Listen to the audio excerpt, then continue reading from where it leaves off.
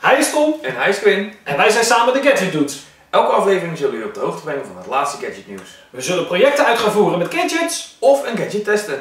Bovendien gaan we alle vragen van kijkers beantwoorden. Dus laten we maar snel beginnen.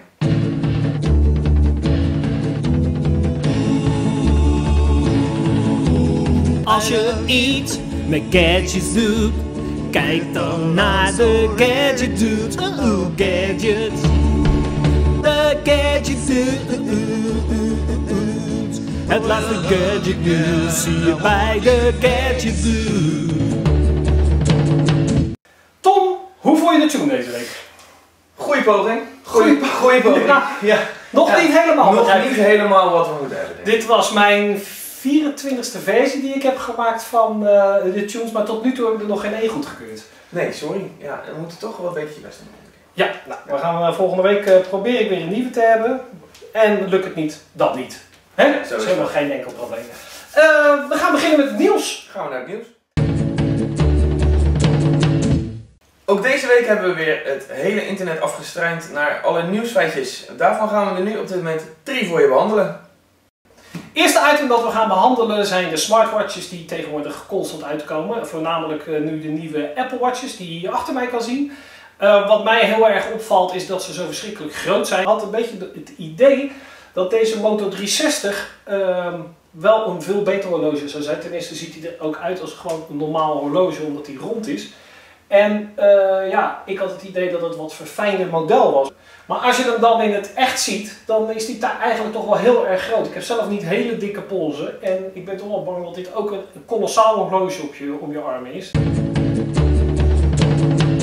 Het zal je ongetwijfeld niet ontgaan zijn, eh, het YouTube-nieuws van deze week in combinatie met Apple. Daar eh, zijn de meningen ook, eh, nou ja, ik denk eigenlijk niet over verdeeld. Gewoon iedereen denkt daar wel een beetje zelf van, toch Quinn? Ja, ja, sowieso het album is nou niet echt dat je denkt van heel geweldig. En wat, wat eigenlijk het grote probleem is, dat jij een heleboel mensen gewoon het album vanzelf in hun iTunes eh, bibliotheek kregen. En er zitten heel veel mensen nu op te wachten. Dus Apple is nu een speciale pagina gestart om, ehm, je, om eh, YouTube uit je iTunes bibliotheek te verwijderen.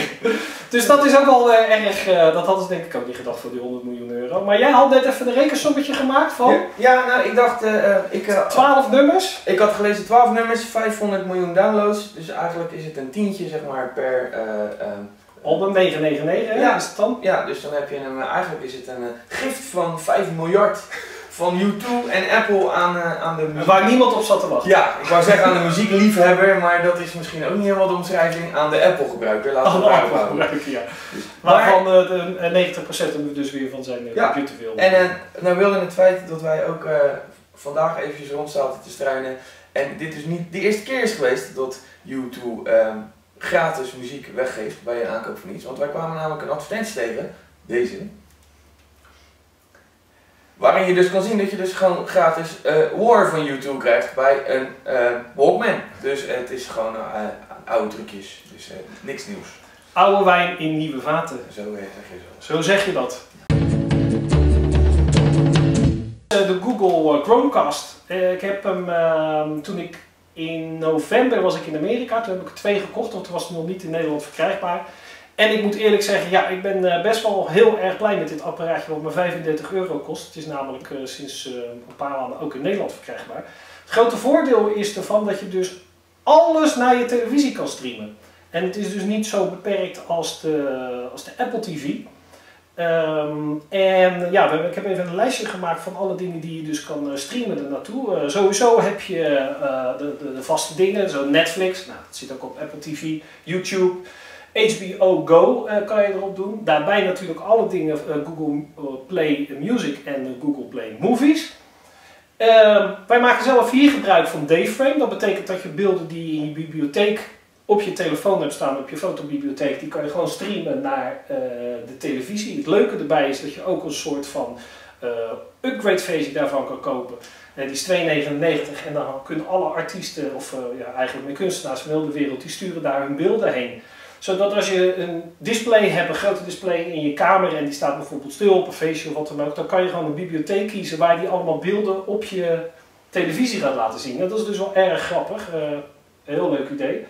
Eh, allerbeste wat er is, is Screencast. En dat betekent dus alles wat je op je display, op je computer, eh, tablet of telefoon hebt, dat je dat kan laten zien op je televisie. Dus die laat één op één het scherm zien. Dus dat is niet meer beperkt tot één van die dingen. Dus als je het op je, op je computer, tablet of telefoon kan zien, dan kan je het dus tegenwoordig op je televisie zien. Dus dat is wel erg fijn.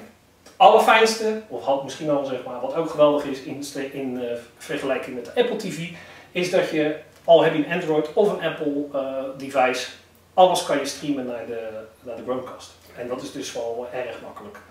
35 euro, werkt als een trein, je hebt het binnen 10 minuten eigenlijk opgezet. En uh, ja, dan kan je gaan, uh, gaan kijken. In onze projectenrubriek uh, gaan we dingen behandelen die we zelf zijn tegengekomen en die we gaan zelf proberen op te lossen. door middel van oplossingen vinden op het internet of mensen bellen of wat dan ook. Hè? Ja. Dus we hadden deze week een Tom probleempje met zijn, uh, ja, zijn controller van zijn PS3. hier een controller, de meeste van jullie zullen hem ongetwijfeld al kennen. Uh, nou ja, je wil wel eens wat gefrustreerd raken tijdens het gamen. Ehm, dus het zou kunnen komen gewoon door het neergooien van ding of iets anders. Ik weet het eigenlijk niet. waar het eigenlijk gewoon op neerkomt is, hij doet het niet meer.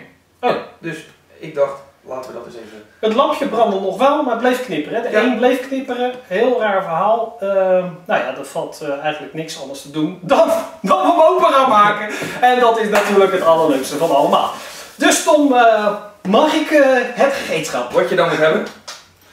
Ja, erg handig is dat ik... Oh, alles valt eruit. wat ik een keertje heb gekocht op het internet, omdat ik een SSD-drive in mijn computer ging zetten is een gereedschapsetje waar ook uh, ja, waar gewoon de kruiskop en normale schroevendraaiers in zitten, maar ook de speciale schroevendraaiers voor uh, Apple producten. Die had ik nodig omdat ik een SSD in die iMac ging maken. Nou, uh, dan kom je allemaal een soort van torque. in plaats met zes pootjes kom je vijf pootjes. Kan je wel gaan zitten kloten met kleine schroevendraaitjes en alles en nog wat, maar dat krijg je niet open. Ehm, en of je beschadigt de boel. Dus ik had dit even besteld op internet en eigenlijk, ja, dit ligt gewoon in mijn bureau, kom ik wat tegen. Eh, wat gerepareerd moet worden, dan pak ik dit even uit mijn la en dan gaan we aan de slag. Ook vandaag, Tom. Dus Laten we. gaan eens even het... ik heb er wel eens eerder eentje opengemaakt en dus het losmaken van die vijf schroefjes en dan is het eigenlijk klaar. Dus we gaan eens even kijken. we gaan niet de hele tijd filmen natuurlijk, want het duurt uren. Dus we kijken even waar we eindigen. Dus tot zo. Oké, nou, het is zoals, zoals je ziet hebben we hem uit elkaar gehaald. Um, ja, we, we, hebben dus even gekeken waar het aan lag. Het vervelende was toen ik hem heel voorzichtig uit elkaar haalde. Moet je hem optillen, de printplaten. Toen zijn gelijk de twee vibrato motortjes eraf gevallen. Die moet ik dan dadelijk nog even terug solderen op de printplaat. Maar dat is niet zoveel moeite meer. Dus voorzichtig aan doen. Uh, voorzichtig gaan. Uh, we hebben dus even zelf voor de rest gekeken en eigenlijk zijn we erachter gekomen wat het was. En dat is de batterij. Uh, wat het dus is, ja, ik heb hem al eens gehad bij een Apple MacBook ook, dat de batterij helemaal bol stond. Dat hij opge, opge, opgeblazen was. En dat is bij deze ook. Deze is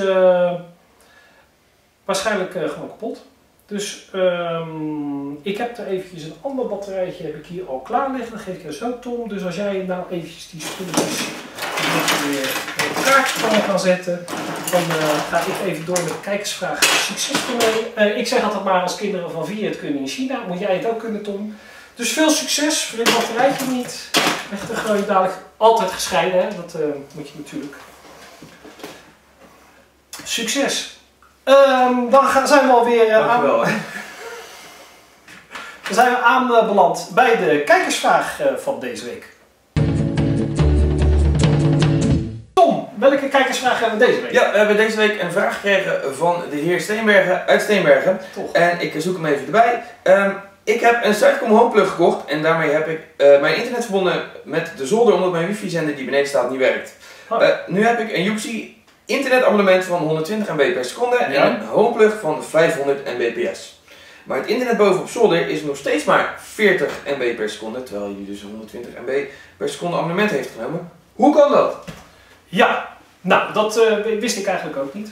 Uh, ik heb in het verleden zelf ook zo'n probleem uh, gehad. Wat ik heb gedaan is gewoon de kabel getrokken naar boven.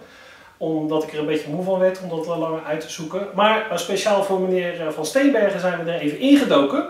En ik kwam op deze website.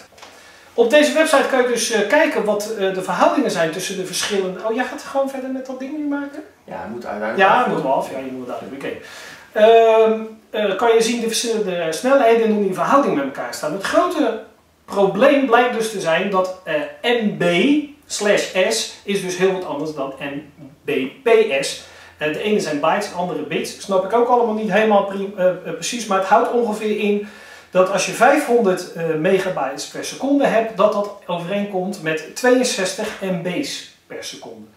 Um, we hebben het de hele tijd over homeplug. Dit is een homeplug. Uh, wat je dus doet, je steekt, uh, je hebt er twee.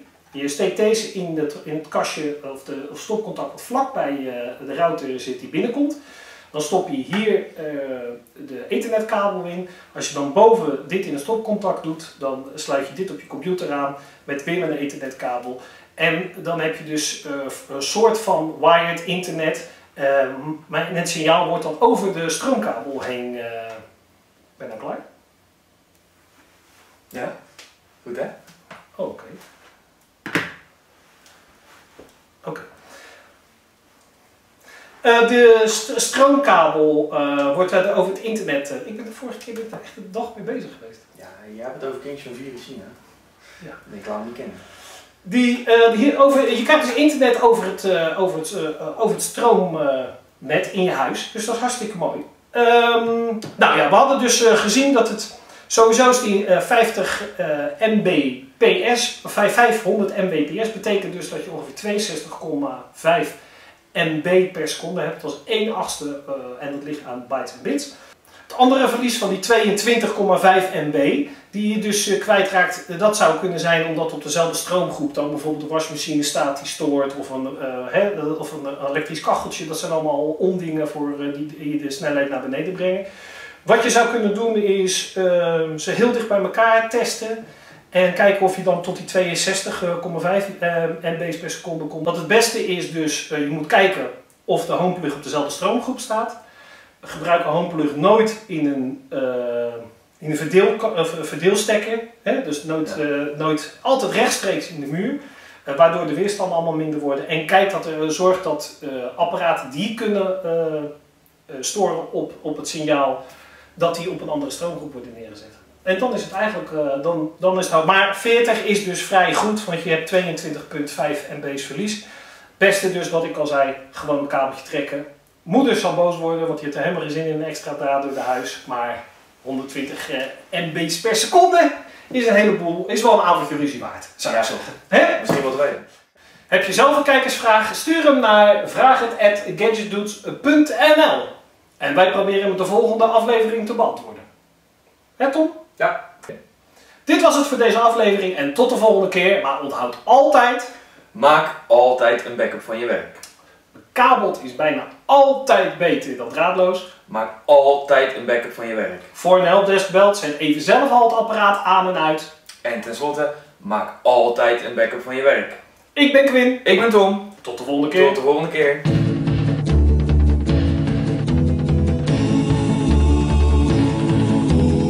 Als je iets met gadgets doet, kijk dan naar de Gadget Dude. Oeh, gadgets. gadget Het laatste gadget nieuws zie je bij de gadget